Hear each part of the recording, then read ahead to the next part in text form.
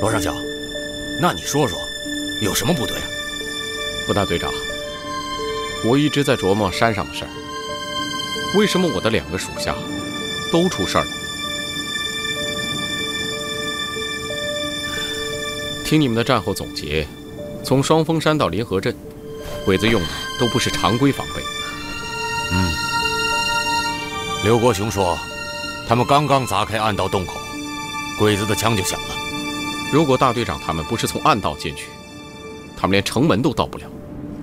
嗯，这说明松本知道我们要攻城。你的意思是，咱们山上有内鬼？我本来认为张家东生性多疑，可现在看来，他是对的。山虎失踪是个谜，而且张家东的死应该也另有其人。我也这么认为。他功夫了得，听说抓他的时候，他那几下子把我的兄弟都给惊着了。开玩笑，他可是受过专门训练的军统局特工啊。罗少校，已经连续两天都没有空投了，还能投吗？能投，当然能投。副大队长，你放心，虽然咱们暂时联系不上。不过我可以肯定，军统局也正在设法联系我们呢。凭什么呀？伪满临河庆典失败，日本内阁长官被杀，影响巨大。哎，罗少校，我觉得你应该端正对大队长的态度。坦白的说，没有大队长，就没有双峰山要塞，那么临河镇的事，这我知道。可是我想，你也看出来了。他对国民政府的向往，并不像你这么热切。正常啊，什么国民政府、军统局、国防部，我也就是听你那么一说，究竟怎么回事，谁知道啊？我说的是政治向往，你还是担心他向往游击队？对，你错了，游击队，他只是欣赏和利用，不是向往。你别忘了，他是方大少爷。是正北货站的掌柜，难道他不知道游击队是干嘛的？共产党是干嘛的？共产党是要供他的产，革他的命的。就是啊，所以张家东活着的时候，是有点多虑了。可问题是，他现在什么都没了，他是一个无产者了，他已经没有顾忌了。更何况，他身边还有一个吴翠花，吴翠花的爹就是游击队的。你呀。是太不了解方振宇了。你要是说他不像我那么向往国民政府，我同意。你说他要投游击队，那你就瞎操心了。虽然说无炮头是个因素，但他左右不了他。在他心目中，我知道最有分量的，就是你。这我知道，我跟他是多年的兄弟。我非常清楚他的为人，他是一个黑白分明的人。可是，他心里确实搁着游击队，这连陆月河都看出来了。其实很简单，他之所以心里搁着游击队，是因为和游击队有着交易。交易？什么交易？一个权力的交易。可是副大队长，如果你过去的话，你只能是个副职，而且连副职也长不了。等到清洗运动一开始，恐怕连脑袋都保不住。我之所以没有应游击队，就是担心这一招。这一招是必然的，要不然马大炮也不会死得那么惨。放着一个好好的五百多人的首领不做，偏要做游击队独立大队大队长，不到一年的功夫就被清洗了。五百多弟兄全归了游击队，而他自己呢，落了个死无葬身之地。没有政治立场，那只能靠着恩情在维系。可是随着时间的推移，总会有恩断义绝的一天呢。副大队长，我把金龙山就完全托付给你了。金龙山武装，地下抗日别动队。这是我多少年来呕心沥血的梦。这一切，都是为了党国。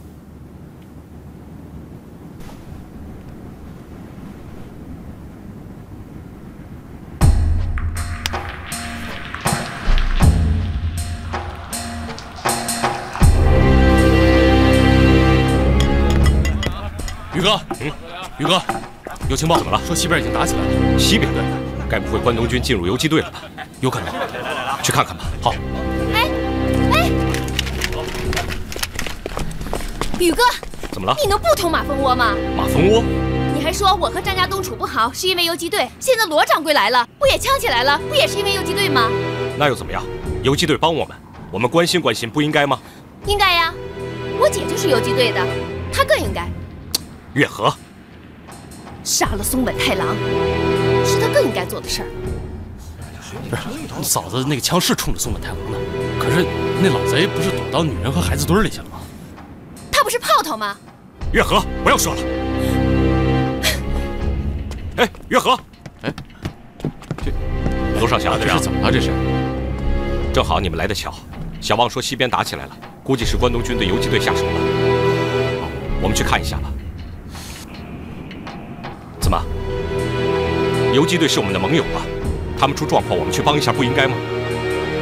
是，完全应该。可是他们到现在都没有人来告急，说明他们还能应付。我倒是担心啊，这是松本太郎的一个计谋。关东军清剿游击队只是一个幌子，他们真正的目的，是攻打金龙山。哎，要不然先找人去侦查一下吧。我正是这么想的。派谁去呢？我跟小旺去吧。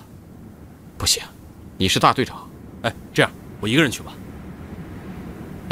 哎，翠花和他们比较熟，不如让翠花去吧。哎，啊，把熊瞎子也带上吧。嗯，好吧，那我去通知他们两个。好，嗯，走吧。这这，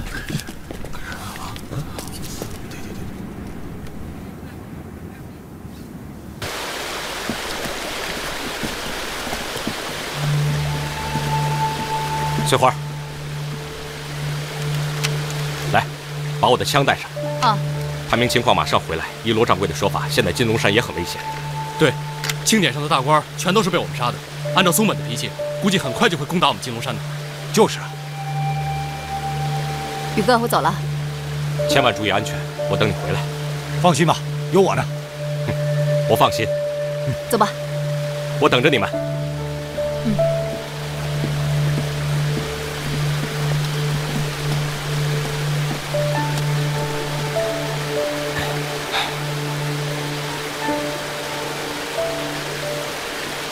宇哥，你咋了？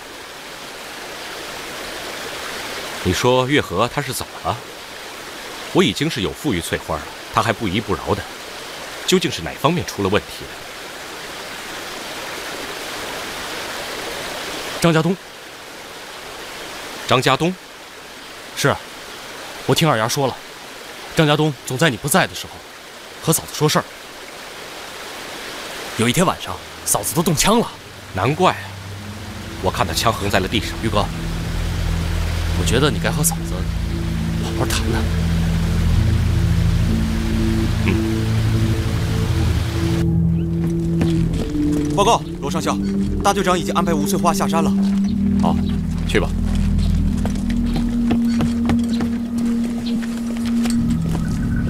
罗上校，你还有什么可担心的？你说让吴炮都去，大队长就安排了。没打一句课本，我还搭上个熊瞎子，这有什么问题呀？问题是，如果你知道关东军会清剿游击队，你还会这么关心吗？不会。那他为什么那么着急？哎呀，罗上校，我有句话，不知当讲不当讲，请讲。哎呀，这方振宇他要是想去游击队，你就让他去呗，这还省得操心了呢。如果他没上金龙山，那是可以的。问题是，他现在已经上了金龙山，如果再离开金龙山，那就危险了。再说了，如果他和游击队有交易，那游击队要的并不是他，而是金龙山的队伍。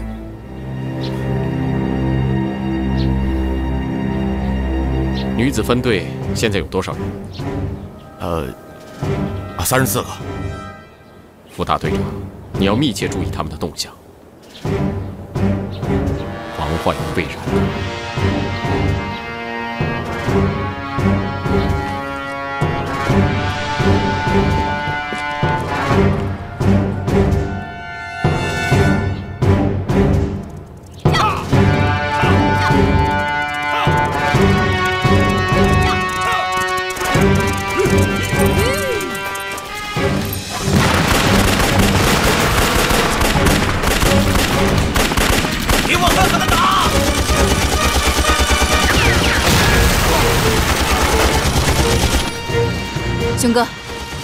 去告诉宇哥，那你呢？我再观察观察。你别擅自行动啊！嗯这，啊！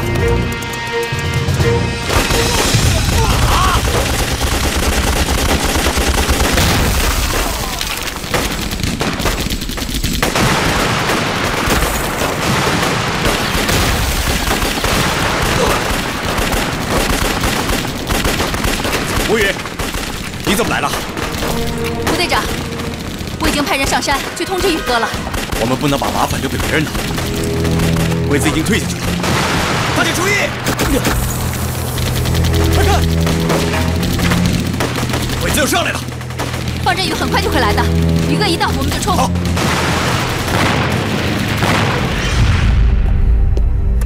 我不同意。为什么？这么做非但救不了游击队，还会把关东军带进金龙山。咱们的优势是山，出了山只有被打被消灭。罗兄，我们现在是看着游击队，眼睁睁地看着我们的盟军被消灭。打过一两次仗，就算盟友盟军了，救人也得看看自己的实力。罗上校，你也太不仗义了吧？这有你说话的份儿吗？战场不是江湖，打仗可不管义气。人生就是江湖，仗义是人的根本。大哥说得好。罗兄，不管你怎么说，营救是必须的，不救也得救。你们不去，我自己去。你，振宇兄弟，你先别急。罗上校也是为了咱们金龙山好。不过罗上校，不管怎么说，游击队对咱们有恩呐，咱们不能见死不救。还是我们家司令仗义。熊先子，带一中队人出山。是，我带队。哎，振宇。振宇，哎，哎，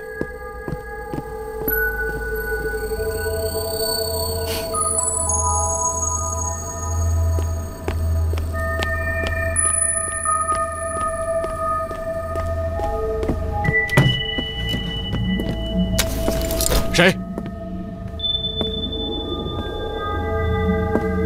罗上校，是我。你，你在我办公室干什么？有件事情想帮你。帮我做事？什么事？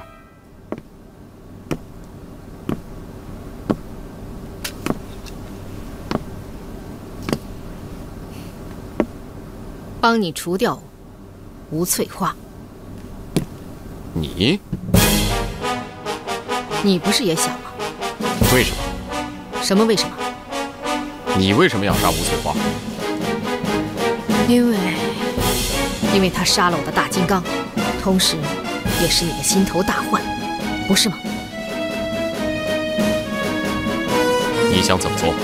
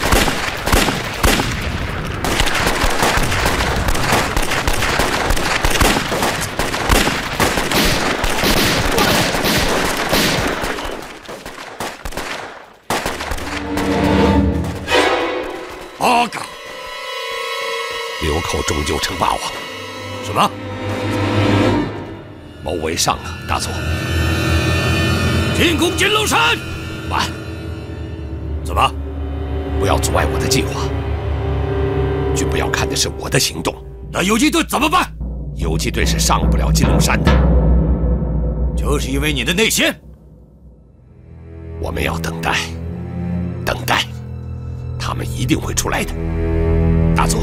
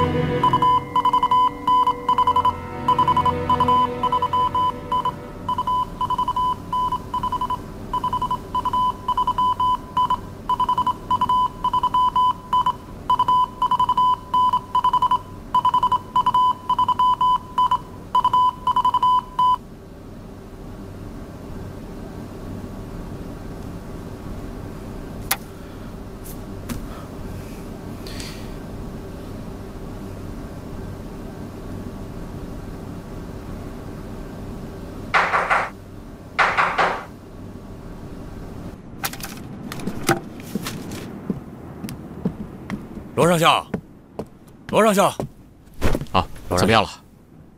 游击队已经脱险了，他们上山了。大队长做的很地道，没让他们上山。嗯，他还挺本分的。啊，副大队长，你看，电报，国民政府终于发来消息了。你部所作极大振奋了国军将士，临河大捷将彪炳千古，令要员明日午时到临河。怎么没提到空投啊？比起这份电报，空投算什么？你还不明白吗？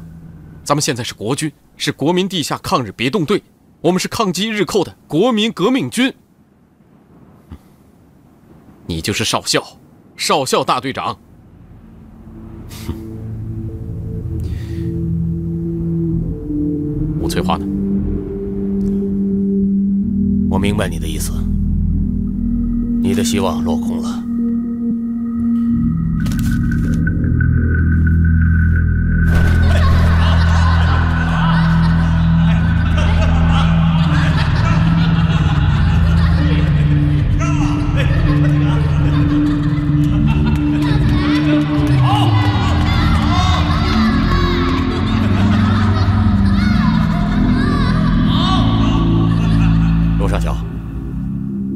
得你不应该让梅姑这么做。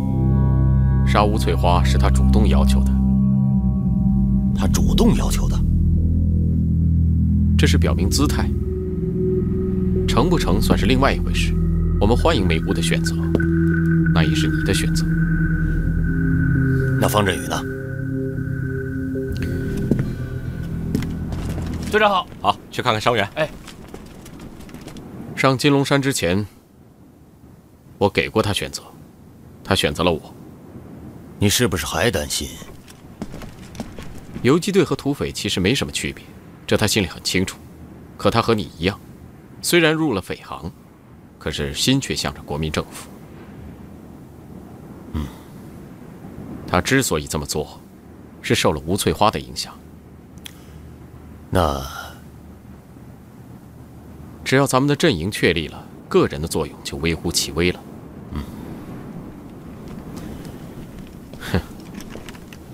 先去忙去吧。哎哎，哎，大队长，两位在聊什么呢？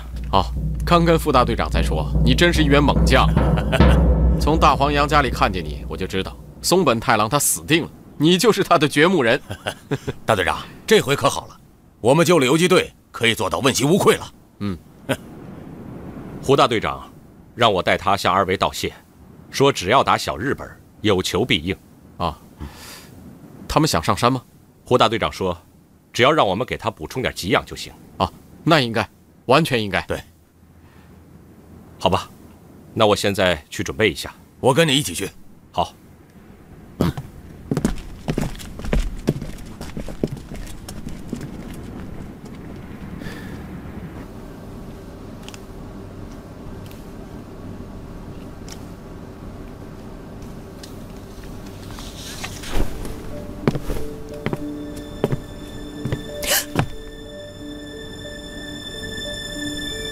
罗掌柜，你在这干啥呀？张家东跟我说过，你和吴翠花的差别。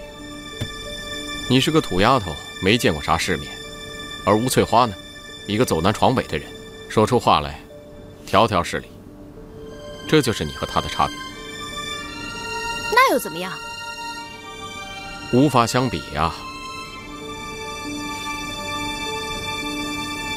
你心里装的只有一个男人。而吴翠花呢，装的却是一群男人，所以你注定是个悲剧。啥悲剧？你将会被抛弃。一个走天下、吃四方的男人，是不会喜欢一个土得掉渣的女人的。你啥意思？啥意思？你还不明白吗？我是替你感到可惜呀。方振宇他并不知道，真正爱他的是你，而不是吴翠花。那他不爱宇哥？吴翠华爱的是共产党，你去看看女子分队就知道，简直成了欢乐营了。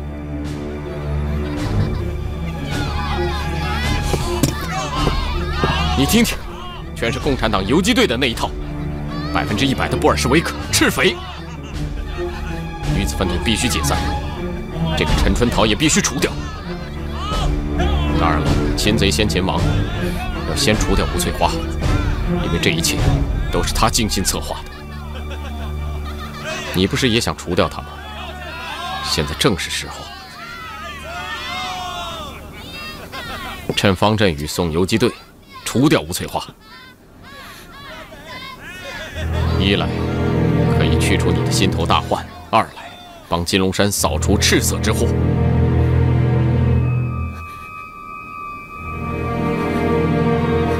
你还犹豫什么？除掉吴翠花，方振宇才会死心塌地跟你过日子，你才会得到幸福。陆月河，你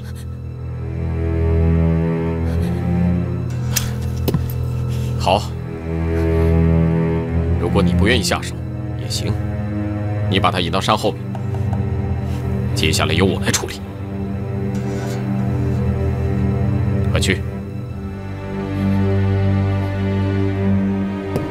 去！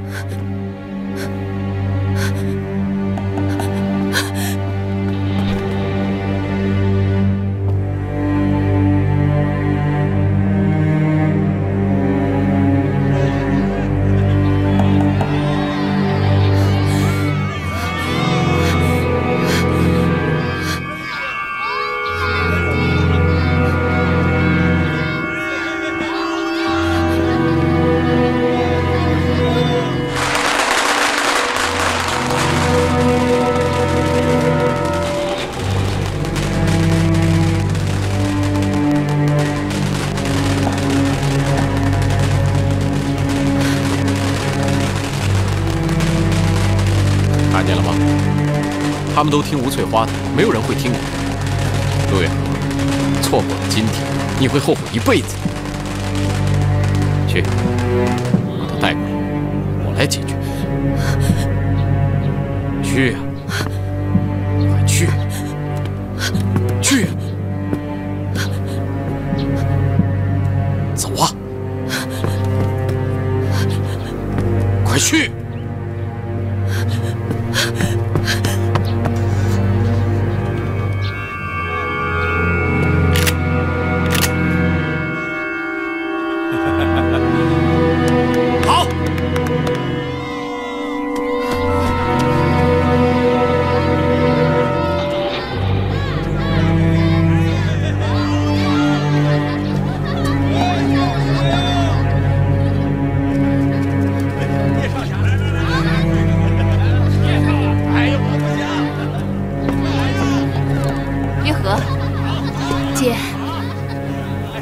咋的了？我心里乱哄哄的。是不担心宇哥呀？你们都回来了，宇哥咋没回来？宇哥送胡队长他们去了，一会儿就回来了，放心。你慌啥呀？来，和咱们一起扭秧歌。这一扭啊，可啥都忘了。来呀，二嫂子。春桃，你傻呀？说谁二嫂子呢？本来就是嘛，姐先嫁先进门，她是后进门，本来就是二嫂子。哪有那么多本来？谁是二嫂子？别说她二嫂子是抬举她了。你行了，没完了你！本来就是嘛。哎，有啥管？月河，看看，把人惹生气了吧？都怪春桃。月河，月河，月河。春桃她口无遮拦，你别和她计较。回头我说说春桃，什么二嫂子，嫂子就是嫂子。月荷，别往心里去啊。月荷，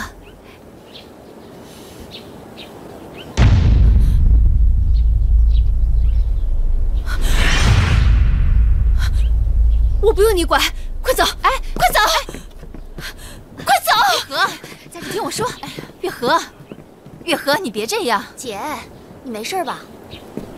哎，哎，姐，月河，谁？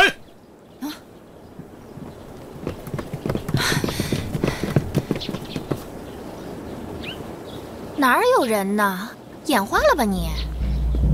难道是谁在监视我们？哎，二丫，你以后说话注意点，别老把抗联挂在嘴边上。这又没外人，你怕啥？熊哥说的对，山上挺复杂的，说话要留点神。嗯，是翠花姐。哎，你说一句比我说一万句都管用。其实二丫说话管用的。说你傻吧，你还不认账？认账，绝对认账。你们先回去休息吧，我去看看月河。哎，走吧。走。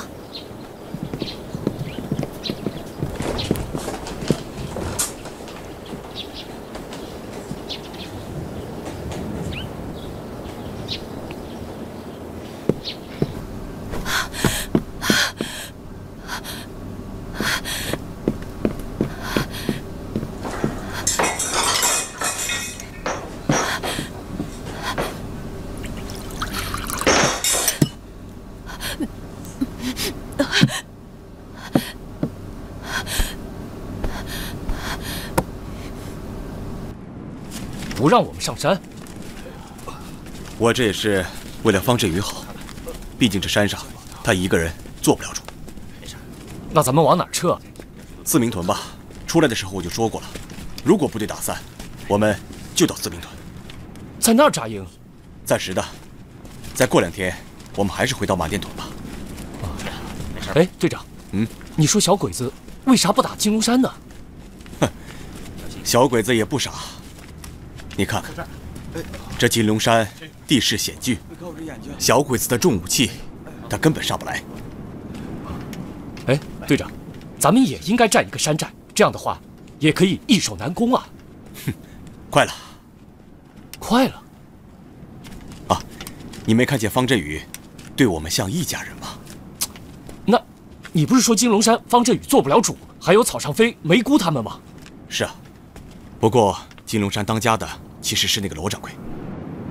这个罗掌柜是金龙山的创始人，哦，还有那个张家东和罗掌柜，他们都是一条线上的人，都是国民党军统的人。哎呀，这么复杂，你还说快了快了？哼，我相信吴翠花，也相信方振宇。报告，胡队长，方当家来了。哟哟。方大当家，方当家，我说过来送急啊！这赵大哥说什么也要来看看胡队长。哎呀，没能让胡队长和兄弟们上山，我是特意来道歉的。哪里哪里，这次游击队能够突出重围，全仗着赵司令能够为我们解围啊！嗯，哎，我代表抗联向你们表示谢意。哎，哎，胡队长，要不今晚就在这儿扎营吧？我给你准备一些被褥。不用了，感谢方大队长。呃，我们还是要回四明屯去。嗯。那后会有期了，后会有期，后会有期，出发，出发，再见了啊！好，啊，振宇兄弟，罗上校他接到电报了，好，上面对我们的临河行动给予高度评价，说是临河大捷，彪炳千古啊！有实质性的吗？啊，说是派人到临河了。啊，赵大哥。你说林河镇和双峰山小日本有布局，这问题出在哪儿呢？哎呀，这恐怕得找到山虎才能找到答案呢。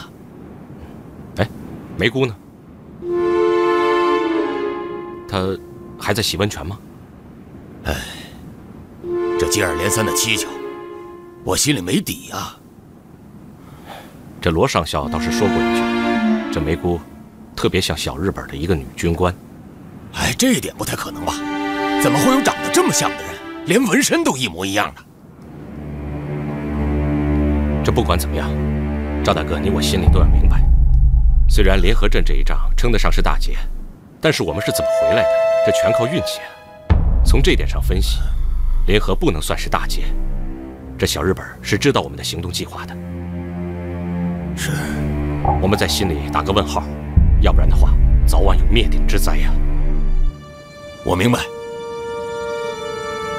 至于游击队方面，罗上校的看法和我不一样，他搞的是政治，我带兵打仗，我只针对小日本。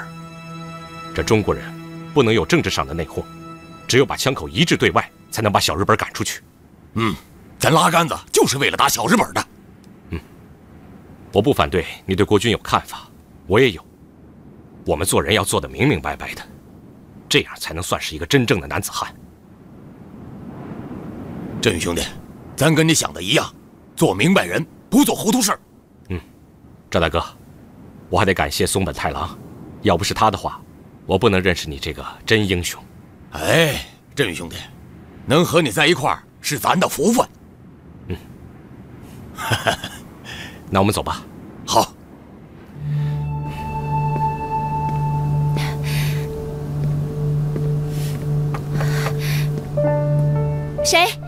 河。月河。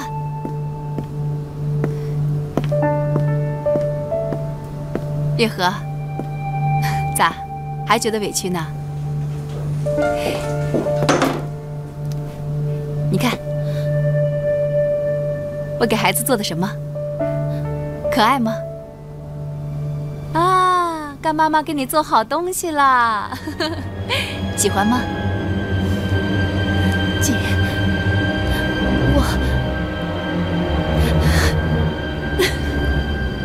怎么了？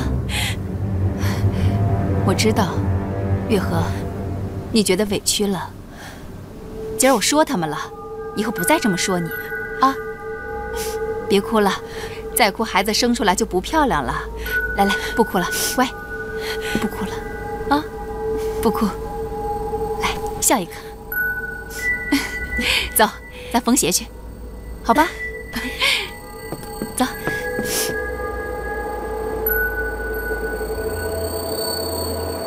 少佐，你确定游击队会来吗？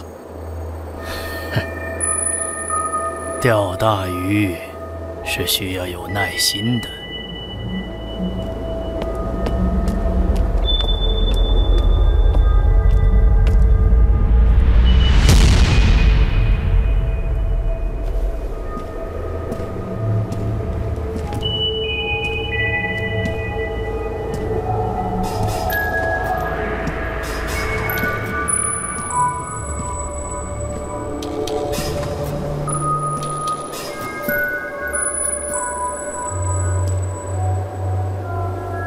上校，真的好巧啊！本来姑奶奶也正想找你呢。你比张家东可干练多了，我就喜欢你这种说干就干。虽然有那么点遗憾。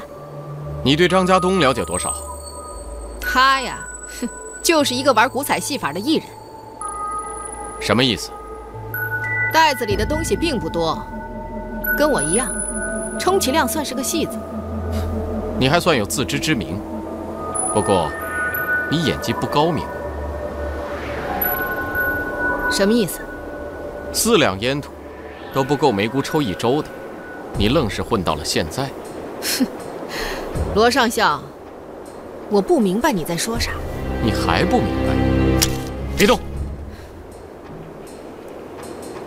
罗上校，你这是什么意思？我可不是山虎。闻到女人的肉味儿，就没了魂儿。要不是你还有用的话，你早就是一具死尸了。是吗？哼，我可是鸡鹅巷一期特训班的。南京鸡鹅巷。对。怎么样？该摊牌了吧？这是我给你准备的一份护身符，你的名字叫卓美妍，是中统局潜伏的特工。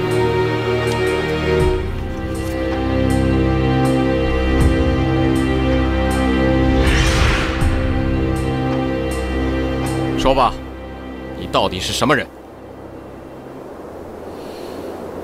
卓美妍。卓美妍。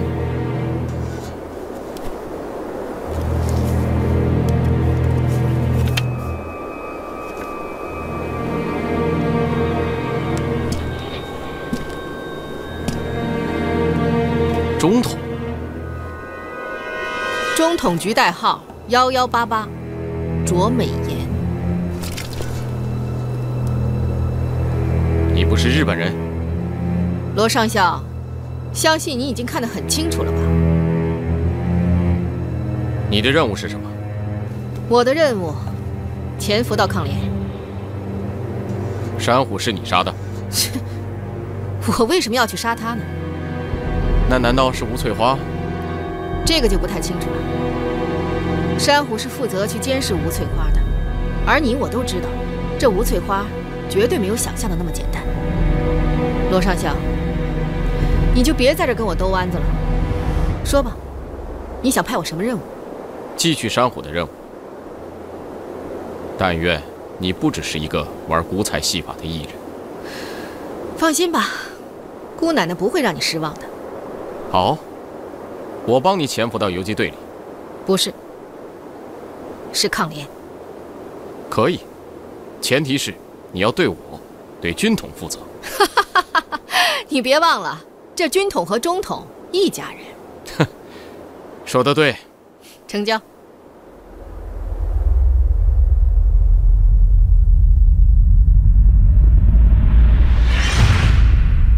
哎，月河，咋样？好不好看？好看。姐，我还不知道我肚子里是男孩女孩呢。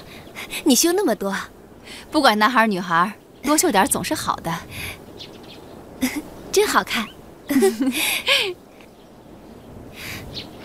姐，嗯，你真是游击队的人吗？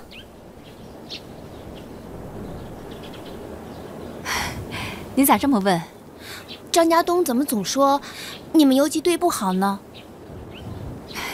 月荷，你觉得游击队咋样？我觉得挺好的。那不就得了？那他为什么那么恨游击队？这点我也不清楚。可是我知道，张家东和罗天华是国民党的人，国民党代表的是剥削阶级，而游击队代表的是共产党，共产党代表着无产阶级。这么说吧，国民党呢是代表着富人，而共产党呢是代表着穷人。那要这么说的话，我和宇哥就是国民党。那姐，他们说对了，你是共产党啊？也不能这么说。反正不管怎么的，姐，我向着你。我告诉你啊，你可要提防着点儿，有人想害你。